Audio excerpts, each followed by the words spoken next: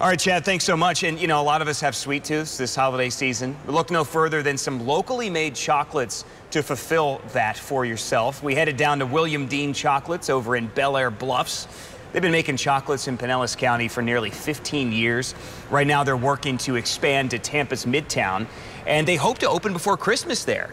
If you've never been, they have airbrushed and hand-painted chocolates. I mean, we're looking at the video now. They're beautiful. They classify themselves as a mix between chocolate and art.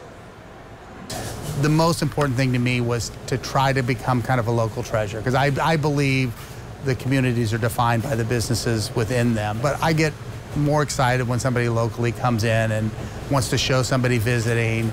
And to me, that's what it's really all about.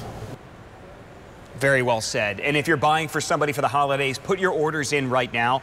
Uh, they actually recommend ordering online or coming to the store to place your orders. We have the details to do that. Again, it's on abcactionnews.com slash holiday shopping. All right, guys, do I have your attention now yes. after all that chocolate video?